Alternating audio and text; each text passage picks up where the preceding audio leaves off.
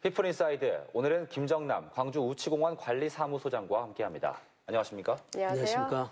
네, 요즘 폭염 때문에 땀이 식을 날이 없습니다. 이런 날에는 사람뿐만 아니라 동물도 힘들 것 같은데 요즘 동물들은 어떻게 잘 지내고 있나요? 네.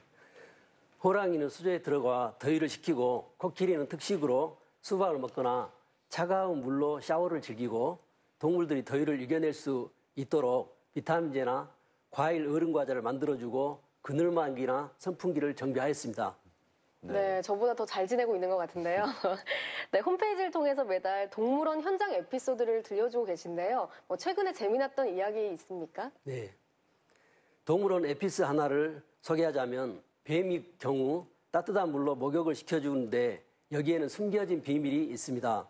뱀은 보통 15년 사는데 죽을 때까지 성장하면서 한 달에 한 번씩 허물을 벗습니다. 네.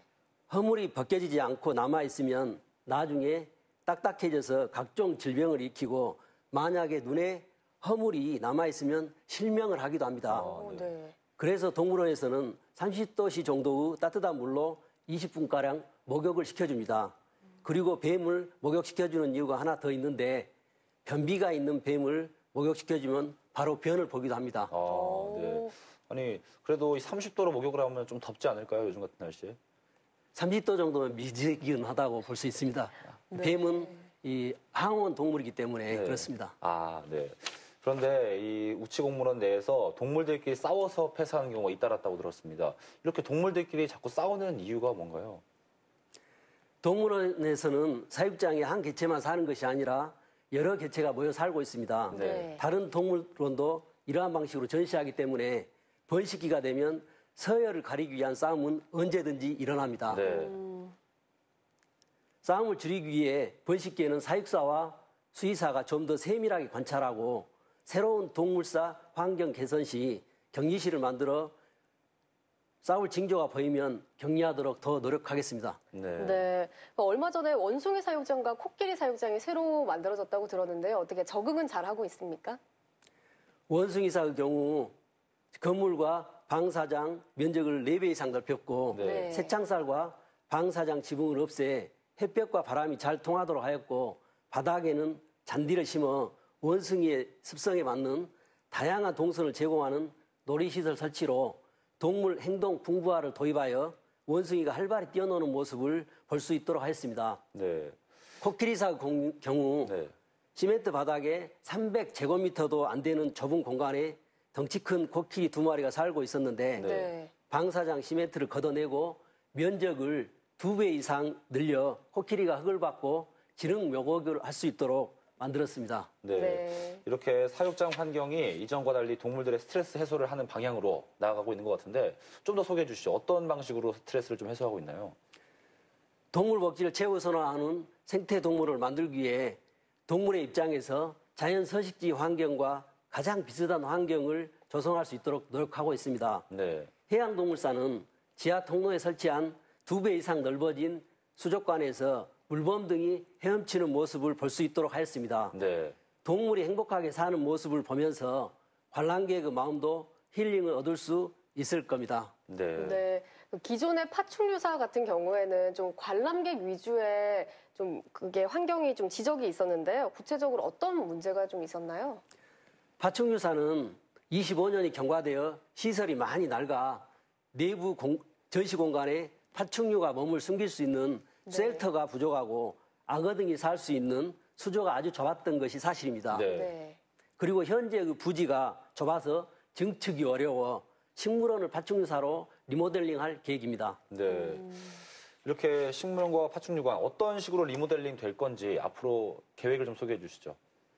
파충류사는 기존 식물원 건물을 활용해 3배 이상 넓은 면적에 동물과 식물이 공존하는 자연 서식지 환경에 파충류가 살고 있다는 느낌을 줄 수 있도록 경관 몰입형 전시 방법을 도입하여 식물 속에 파충류가 사는 공간으로 만들 예정입니다. 네. 네. 또 파충류관 외에도 표범사 그리고 맹금류사, 초식동물사도 개선된다고 들었는데요. 어떤 식으로 좀 개선이 될 예정인가요? 표범사는 이전 동물사의 부지가 너무 좁아 기존 건물을 증축하기 어렵습니다.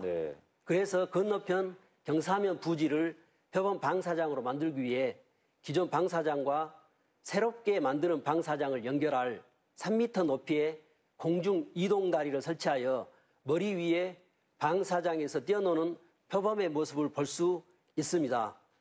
맹금유사는 독수리나 수리 부엉이가 넓은 하늘을 날 수 있도록 만들고 초식 동물사도 주변 산림을 이용하여 숲속에서 초식 동물이 살고 있다는 느낌을 받도록 만들겠습니다. 네. 네, 좀 이렇게 변화가 있다면 어떤 효과를 좀 볼 수 있을까요?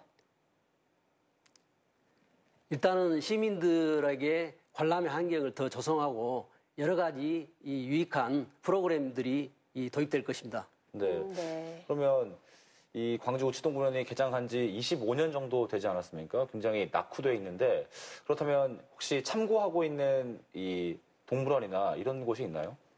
지금 현재 우리 동물원이 이 추방하고 있는 이 모방하고 있는 모델은 이 아사히야마 동물원과 일본의 예, 아사히야마 네. 동물원과 그리고 싱가포르 동물원을 모델로 삼고자 노력하고 있습니다. 그 동물원들이 좀 어떻게 돼 있는지도 소개해 주시면 좋을 것 같아요.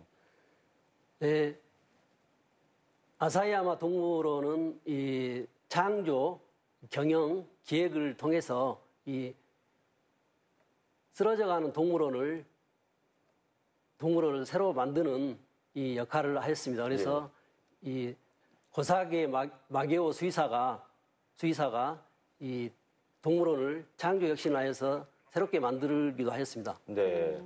그러면 이 우르개선 이외에 또 새로운 동물을 데려올, 데려올 계획도 있으신가요? 해양동물사가 금년 10월 말에 완공 예정입니다. 네. 이 시기에 맞춰 물범 물개 수달을 구입할 예정입니다. 네. 특히 2019년 광주 세계 수영대회 마스코트이자 천연 기념물인 수달은 네. 네. 우리 동물에는 없는 새로운 개체로 문화재청과 협의를 통해 내년에, 내년에 입시가도록 노력하겠습니다. 네. 네, 아무래도 관람객들이 또 지켜줘야 되는 부분이 있잖아요. 관람객들께 한 말씀 부탁드립니다. 예, 오후가 되면 동물들도 쉬는 시간이 필요합니다. 네. 네. 파충류는 움직임이 아주 적습니다. 동물원에 잠깐 방문하여 이런 모습을 보고 유리창을 두드리며 시끄럽게 깨우는 관람객이 있는데 동물들을 배려한다면 이런, 이런 행동은 삼가해 주셔야 합니다. 네. 우리 동물원은 시민 참여 프로그램을 운영하고 있습니다. 동물 생태 해설사와 함께 동물원 한 바퀴 체험하기, 수의사와 사육사에 대해 알아보는 직업 탐방 교실, 방학 야생동물 생태 교실, 그리고 동물 먹이주기 체험 등 다양한 동물원 체험 프로그램이 운영되고 있습니다. 네. 프로그램 참여는 우치공원 홈페이지에서 신청할 수 있으니 관심 있는 시민들의 많은 참여 부탁드립니다. 시민들의 안전하고 편안한 관람을 위한 관람 환경 개선도 꾸준히 진행되고 있어 우치공원의 변화하는 모습을 기대해 주시고 시민들이 일상의 거다람을 위로받고 동물원이 생태 학습의 장이 될 수 있도록 더욱 노력하겠습니다. 네. 네. 광주 우치공원 김정남 관리사무소장이었습니다. 고맙습니다. 고맙습니다. 감사합니다.